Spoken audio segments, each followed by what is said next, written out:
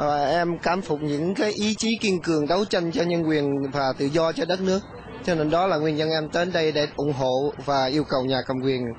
uh, phải, Cộng sản Việt Nam phải thả những người này. Cô công nhân cô công nhân còn trẻ hơn Mỹ Phương nữa. Thành ra cô rất là như là cái một cái inspiration uh, khuyến khích Mỹ Phương uh, có mặt ngày hôm nay cô công nhân tuy nhiên tư rất là còn trẻ nhưng mà tuổi trẻ là tài cao và rất là không, không hổ thẹn là xứng danh là rất là xứng danh là con cháu của bà Trưng bà Triệu. Vâng, cảm ơn Mỹ Phương hôm nay mặc áo trắng là áo là ủng hộ cho tự dân chủ khác tống cáo. Dạ vâng. Tôi là đại diện cho hội phụ nữ Việt Nam Hải ngoại Bắc Cali.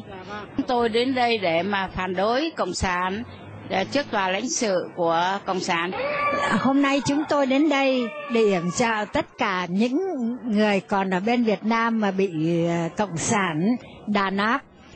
Những người bên Việt Nam chẳng hạn như Cha Lý, Lê Thị Công Nhân hay là luật sư Nguyễn Văn Đài đều là những người ở khối 8406 mình chúng ta phải giúp đỡ họ là vì họ là những cái người đứng ra để mà lo cho tự do nhân quyền cho Việt Nam, tự do tôn giáo. Kính thưa quý vị,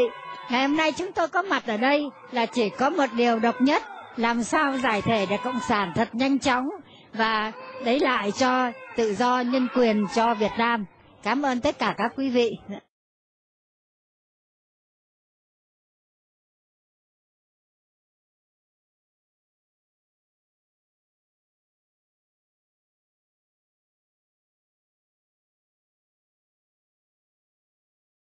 Ở đây chúng tôi thấy có một cụ giảng là lúc nào cũng có mặt đây xin cụ cho vài ý kiến ngày hôm nay ạ. À, là khi nào mà có là chồng còn thì là có tôi thôi. Và em cảm phục những cái ý chí kiên cường đấu tranh cho nhân quyền và tự do cho đất nước. Cho nên đó là nguyên nhân em đến đây để ủng hộ và yêu cầu nhà cầm quyền uh, phải, Cộng sản Việt Nam phải thả những người này cô công nhân cô công nhân còn trẻ hơn Mỹ Phương nữa thành ra cô rất là như là cái một cái inspiration uh, khuyến khích Mỹ Phương uh, có mặt ngày hôm nay uh, cô công nhân tuy nhiên tư rất là còn trẻ nhưng mà tuổi trẻ là tài cao và rất là không, không hổ thẹn là uh, xứng danh là rất là xứng danh là con cháu của bà Trưng bà Triệu. Vâng, cảm ơn uh, Mỹ Phương hôm nay mặc áo trắng là áo là ủng hộ cho tự dân chủ khác tống cáo. Dạ vâng. Tôi là đại diện cho hội phụ nữ Việt Nam Hải ngoại Bắc Cali. Chúng tôi đến đây để mà phản đối cộng sản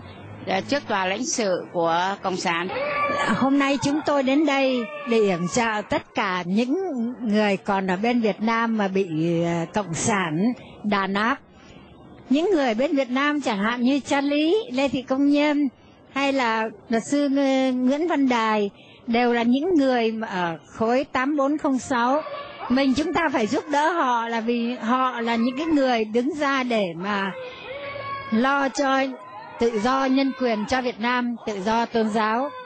Kính thưa quý vị, ngày hôm nay chúng tôi có mặt ở đây là chỉ có một điều độc nhất, làm sao giải thể được cộng sản thật nhanh chóng và lấy lại cho tự do nhân quyền cho Việt Nam. Cảm ơn tất cả các quý vị.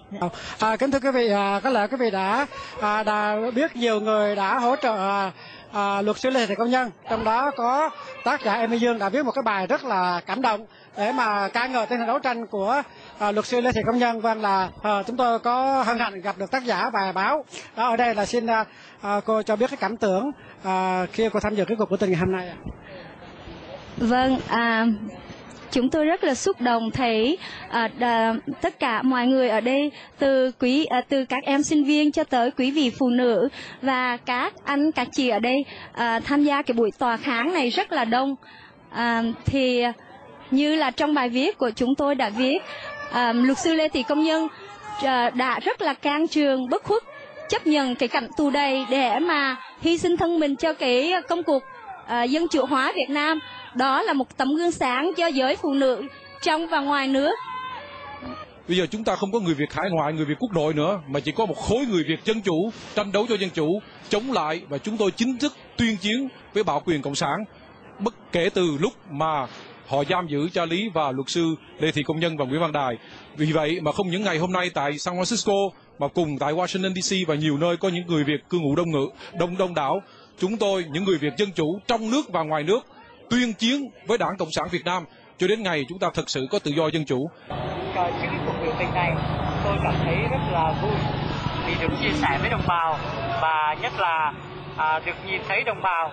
à, hải ngoại luôn luôn sát cánh với chúng tôi những người đang đấu tranh à, cho tự do dân chủ ở trong nước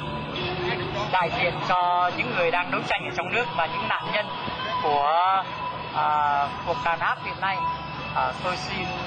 Ờ, chân thành cảm ơn cái sự sát cánh của đồng bào Việt Nam hải ngoại ờ, với trong cái cuộc đấu tranh của chúng tôi.